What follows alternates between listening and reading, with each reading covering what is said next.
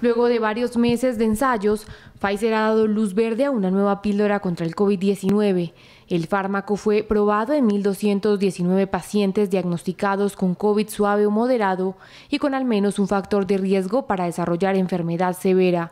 Los resultados concluyeron que los pacientes que tomaron el medicamento junto con otro antiviral tuvieron una reducción del 89% en su tasa combinada de hospitalización o muerte. Incluso el ensayo clínico se detuvo antes de lo previsto debido a los buenos resultados obtenidos.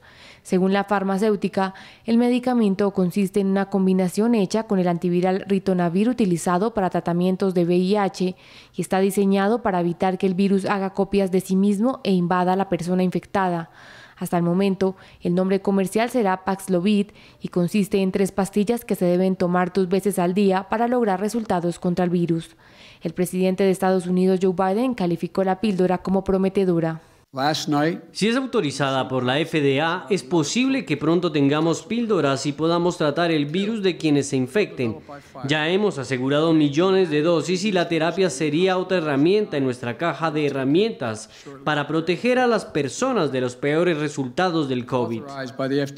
La compañía espera entregar los resultados pronto en Estados Unidos para buscar la autorización de uso de emergencia por parte de la Administración de Medicamentos y Alimentos.